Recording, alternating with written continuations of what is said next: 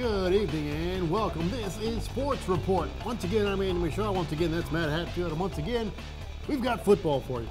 We've turned the calendar, Andy, from October to November, and that means the playoffs are just right around the corner. And we start things off with a matchup that has major playoff implications. The Nansemond River Warriors on the road, fresh off a convincing win at Kings Fork, taking on the Grassfield Grizzlies, who have had a nice bounce back season, 7 and 1 overall after last year's disappointing 4 and 6 finish. Well, let's get things started. Why not? Here we go. Opening quarter at Grassfield. Off the bat, it's Kyrie Landry. Landry goes downtown and he finds Chris Henderson. 50 yard touchdown. And it's a quick lead. Nansemond River known for their running game, Andy, and now doing it through the air. David Copley, the second year head coach, has to like that, but they'll keep it on the ground this time. And look at the nifty running by Terrence Lambert, reading his blocks, using his vision there, 29 yards to pay dirt, and the Warriors lead by two scores still in the first quarter. And guess what? They're going to add to it here on Larry Goodman's three yard touchdown run. Who saw this coming? The Grizzlies trailing by 21 at home on senior night, and there's still two minutes and a half to go in the first period.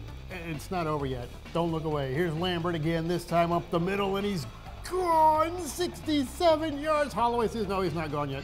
Not done yet, all the way to the five yard line. Caught from behind, but they just delayed the inevitable.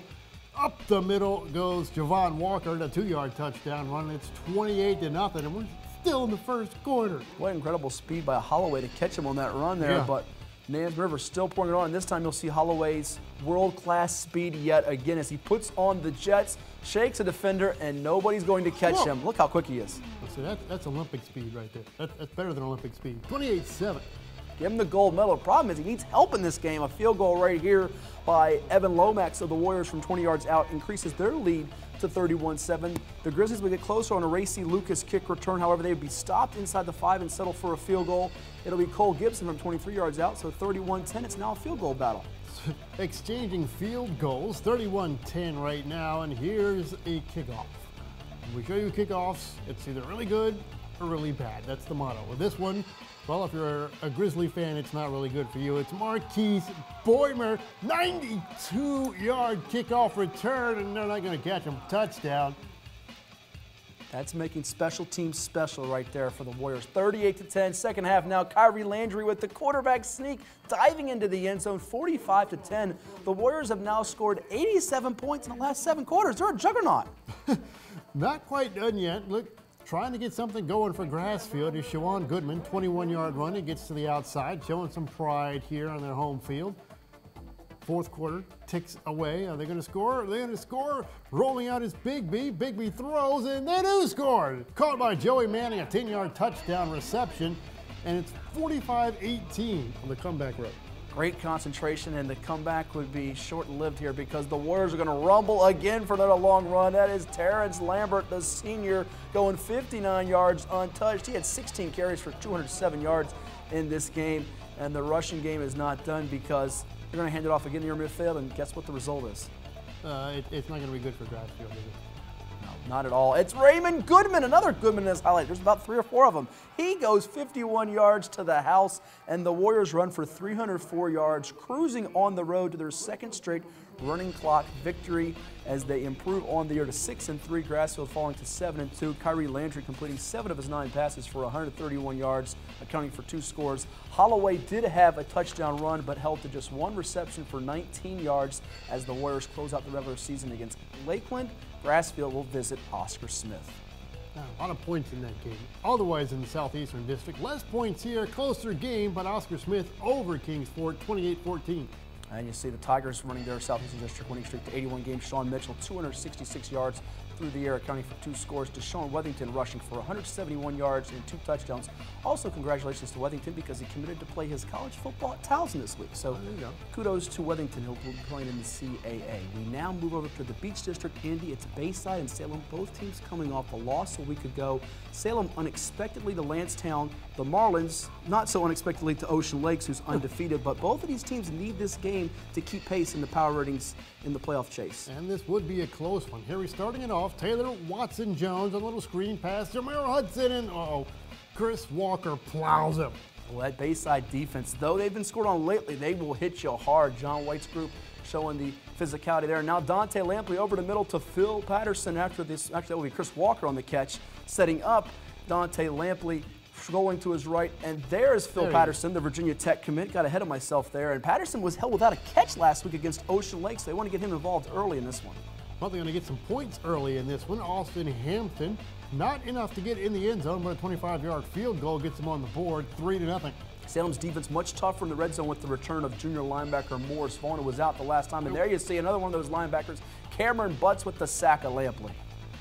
And Salem trying to come back, but there's some more defense right there. That's Cameron Pitchford, and he drops Butts in the backfield. Malik Butts does not want to run to that big fellow too often because he will bring you down. That is a tough guy to run it against. And now it's a punt Oh. by Viandre Reed, and uh-oh, not good. It's muffed, and the Sun Devils, those guys in red, will hop on it. Loose football, and the home fans are cheering.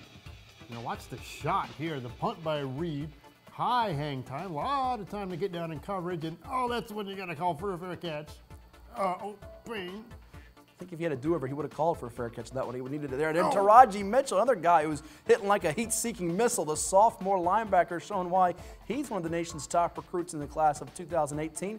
This time it'll be a tough run by Devonte Williams. Look at him drag defenders as he moves forward for a gain of five. Some defense in this game. Here's another field goal. DeAndre Reed. Good. 35 yard field goal ties it up at 3 to 3, and we got a defensive struggle going on here. Defensive struggle in this one is the real kicking battle, not the Nansemond Grassfield variety near the end of the first half. And there is Devontae Williams on the direct snap, and you won't chase this young man and catch him. 43 yards for the touchdown, giving the Sun Devils a little bit of a cushion here. Extra point by Reed will be up and true. So Salem responding well from being stopped the first time. They now have a touchdown advantage. All right, Bayside trying to come back now. Lampley sets, fires over the middle. Good catch by Patterson down across midfield into Salem territory. Jameer Hudson, the defensive back, bringing him down right away on the catch. Now it's Lampley on the play fake, trying to roll away from that Salem pass rush, which has haunted him the last couple of years. And this time he does it effectively inside the three yard line, which will set up the freshman Michael Martinez. Martinez, quick inside handoff, keeps the legs driving and driving. Is he in? Is he in? No signal yet. Bayside says yes, he's in. Officials eventually say yes, he's in, and he's got to get out. Okay, now he's out. He's in and he's safe at the touchdown. And he's firing up the troops. See some underclassmen stepping up this game. The freshman like Martinez, the sophomore Mitchell, and the junior in Devontae Williams. And here's Malik Butts showing off his ability running the football there as he gets a gain close to the 40-yard line. That Salem one-two punch of Butts and Williams is awful tough to contain. And this time it's Williams on the keeper. He fakes it, and he will be gone 37 yards to the house. And that's a big touchdown because it gives them the lead. It is now 17 to 10. Salem takes the lead in the third quarter. Still some time left though. Can they get anything going? Uh-oh. That's not what they want to get going. They fumble it and it's picked up by Eric Melton for Bayside. A much needed takeaway for that Bayside defense. Once you think you got one of those guys stopped in Butts or Williams, the other one fires off here. Now inside, fourth down. Caleb Brody is going to be brought down by John Tay Lewis, former Ocean Lakes Dolphin, making a stop on that Salem defensive line, and it is a crucial one for the Sun Devils, who will run out the clock and get the victory, responding from last week's loss, 17 to 10. Williams rushing for 124 yards and two touchdowns. Butts supporting him with 94 yards, while Dante Lampley held to 135 yards passing in the loss for Bayside, their second straight defeat. That's a hard hitting defensive battle. Appropriate that it ended on the defensive stand. Both teams will be headed to the postseason, where we will find out in a week. But coming up next, we go out to Roanoke, Salem, and Cave Spring. Don't go anywhere. You're watching the Cox Sports Report.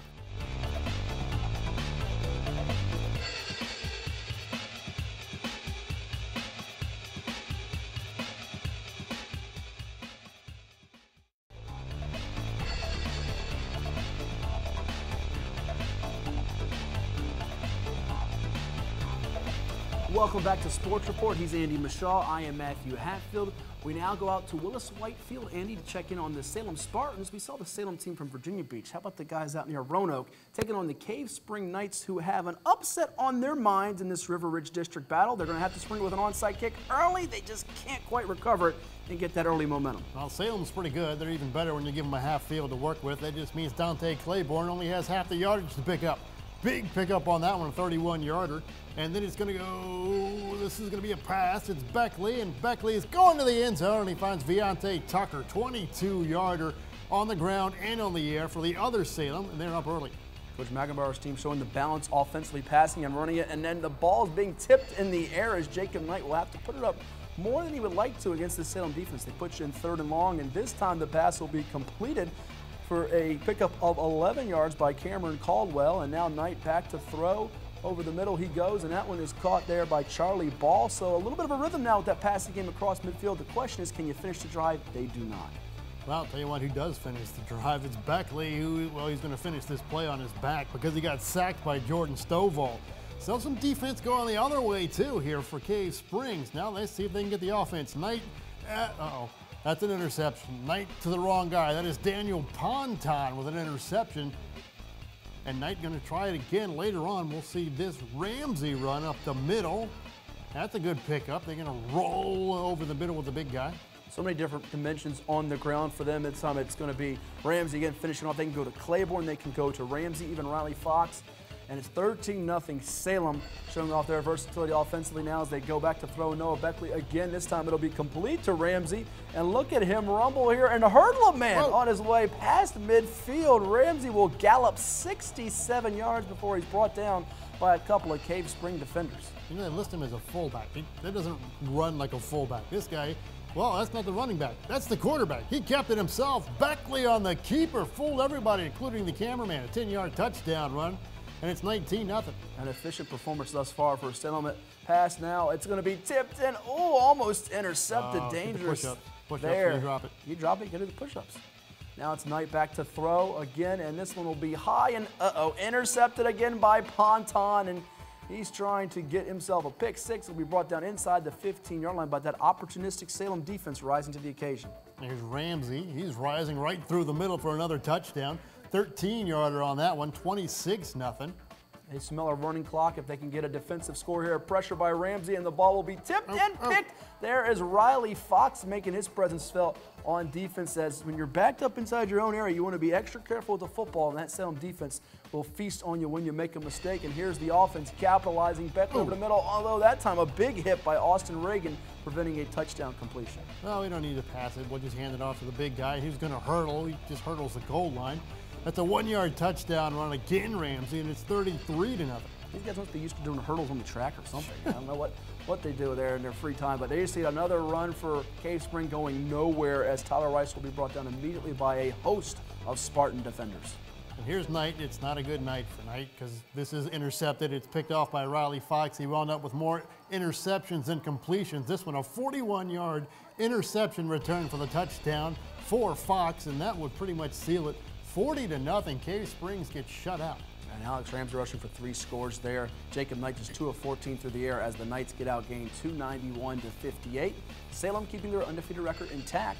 Meanwhile, in the River Ridge District, it was Blacksburg over Patrick Henry Roanoke. Isaac Johnson with four touchdown passes, 278 yards.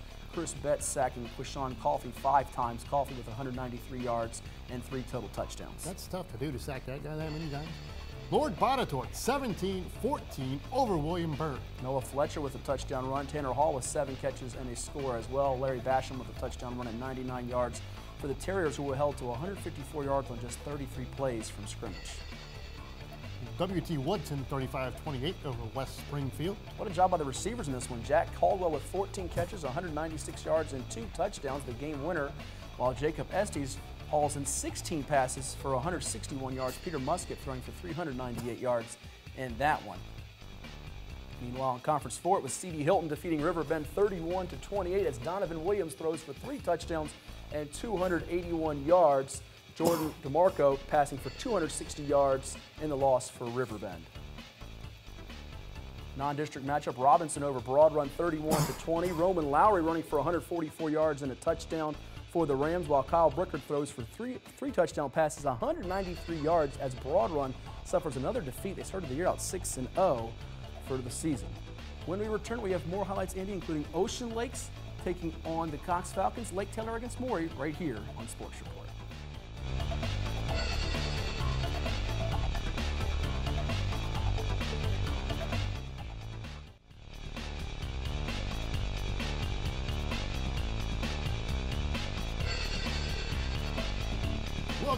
Sports Report. We come back east now. We head back to the beach, Lake Taylor and Maury. The Commodores coming on a three-game winning streak. If they can extend it to four, it'll really be a big deal because Lake Taylor comes in undefeated on the year. And what about their winning streak? Oh, they've won 23 straight, the defending 4A state champions. But it's more with the great start here on the run by Markel Wood, getting them in the red zone. Ocean View's a beat, right? That's in Norfolk.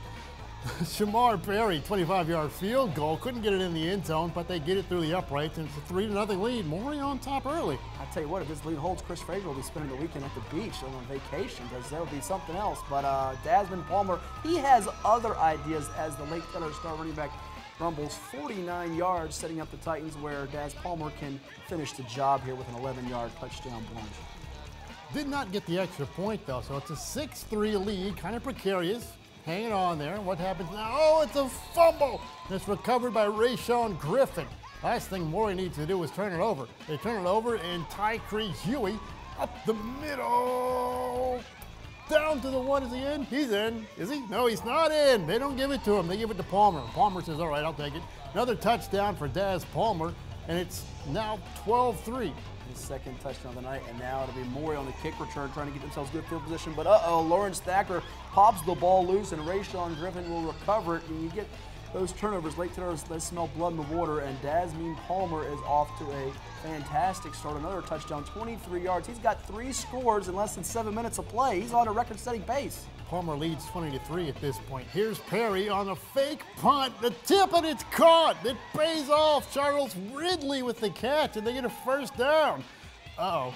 Well, the first down doesn't work out for them, though, because the very next play, they throw an interception. Little throws an interception to Wayne Davis, and then taking advantage of it is, well, once again, guess who? That's actually Huey this time. He takes it himself at 19 yard touchdown run.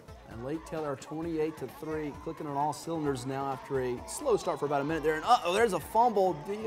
Uh, Dion Smith putting on the carpet and Ishmael Checkley recovering. However, Maury will give it right back. And Lake Taylor this time, though, will scoop and score. Diamante Tucker Dorsey, 29 yards. And this Lake Taylor defense under Hank Sawyer, it seems like every game they get at least one defensive touchdown, and they got one there. 36 to 3 at the break. Yeah, starting to pile up on Maury this time. Here's a little inside run. Oh, it's the option pitch out. Palmer he's just going to keep going. He takes off inside the red zone. Good security there. They try to swipe it away from him. Huey, little screen pass to Davis. He shakes, makes, moves inside, keeps running, stretches, and gets it in. 31 yard touchdown off the screen pass to Davis. What a determined effort by the Ohio State committee, who has three pick sixes on the year, also doing work at receiver and always doing work running the football is Daz Palmer. He finds the end zone again on a 38 yard run as he continues to run for over 200 yards. I think he's had that three times in the last four games. Now a punt, a rare one for Lake Taylor, and it's going to be a touchdown for Maury. Look at Shamar Perry making some moves, busting loose for a 70-yard score as Maury's special teams answering the call there. You know, Perry's got a field goal, you got a fake punt, and then you get a, a punt return. Why not? Keep it rolling. Here's Markwell Wood. Grammy's not done yet. Up the middle. There's a touchdown for Wood, a 15-yard touchdown run, 50 to 16. But when you score on Taylor, it makes them mad, really, really mad. And running angry is Dasmeen Palmer, 63 yards. He wants to get the last say in this one. And the Titans find the end zone again. And when you score them twice, they want to score on you twice, 58 to 16. And this will be Tyree Huey handing the football off to Jeremy Frazier as he gets some running room and runs with authority down inside the 10 yard line. Tyree Huey will finish it off with the quarterback sneak, and the Titans continue to hum offensively. Yeah, humming 64 to 16 is the final there. That's what you call humming offensively. Uh, Palmer averaging almost 20 yards per carry as he has five touchdowns on 12 attempts, 226 yards. Huey with three total touchdowns, while the Commodores' three-game winning streak is snapped. They fall to four and five before their regular season finale against Granby. We now go to the Beach District. It's the Ocean Lakes Dolphins, undefeated, taking on the Cox Falcons, who saw their head coach get suspended this week, Bill Stachowski. He will not coach the rest of the season. Instead, it'll be Brad Nelson as the Falcons try to spring the upset against the Dolphins, undefeated, and they face a familiar foe in Kalen LeBourne, who last year played for the Cox Falcons. As you see before the game, both teams will shake hands and show some sportsmanship there. And Kalen LeBourne, he is planning to have a big effort against his old team. 28 yards for the touchdown early on as the Dolphins score first. No surprise there. Yeah, not the time to have your coach suspended. oh, not the time to be a quarterback. Jake Lowe gets hammered. Cole Johnson. And you see the JMU commit on his back. Very seldom does that happen for Cox, and this is something that does happen quite a bit. Taj Capert on the screen pass, 67 yards on the touchdown pass from Tyler Dessous as the Dolphins getting that passing game going. Capert following up his big effort against Bayside, 14-0 Ocean Lakes. But Cox will not be a team that throws in the towel as Matt DeMasi gets the screen pass, taking it past midfield. Once again, Johnson out time. This time, Dijon Askew. He makes a couple of good moves. 17 yard gain on that one. And now Cole Johnson will hand it off to DeMasi. He will finish it off with a five-yard touchdown run. And Cox hanging tough under Coach Nelson, 14-7 late in the first quarter. It's a team with a lot of pride and a very resilient group. And Cody Cunningham now part of that twin quarterback combo with the run. And now it'll be Kellen LeBourne running the football.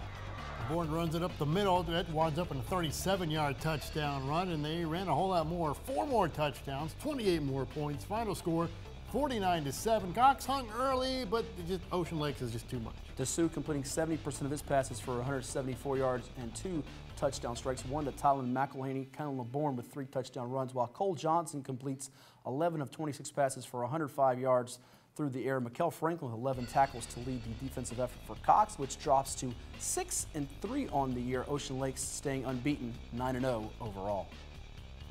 Peninsula District, Woodside over Heritage, 43-29. Both quarterbacks were slinging it around. Tyre Tyler with 197 yards and two touchdown passes, also a touchdown run, while Jeremiah Boyd, only three of his 17 passes fell, 17 passes fell incomplete, 159 yards for him, two touchdowns to Amanye Watson, but Woodside moving its record to 6 and 3 on the campaign. In the Bay Rivers District, it's Tabb over Warhill in a tight one, 21-14. Warhill was trying to get their winning streak to three games, but Tabb wasn't having it as Nick Hunter ran for 89 yards and a touchdown. TJ Jones breaking off a 63-yard score, while Colin Bright had 76 yards rushing, a touchdown catch before he left in the third quarter with an injury for the Lions. Player of the week is this time Kevin Marks, the Norview running back. 21 carries, 142 yards, four touchdowns, two catches for 40 yards, and another touchdown. In a close game, Pilots take down Granby 36-22. Beating their Eastern District and Norfolk rival in a game that was deadlocked at 22. Marks accounting for all five touchdowns. He's also a basketball player for their school that made it to the 5A state championship last winter. And Norview closing out its season 7 and 2, one of only two teams in Hampton Roads, Andy, that played nine regular season games. They're one of them, Oscar Smith, the other. Oscar Smith, of course, will finish up its regular season at home against Grassfield. The playoffs are right around the corner. Can you feel it? Can you feel, feel it coming? The air's getting cooler, the leaves are falling. You know it's coming. Almost time for Turkey Day too. So we'll be back next week with more high school football highlights. Thanks for watching. I'm Matt Hatfield. He's Andy Mishaw right here on the Cox Sports Report.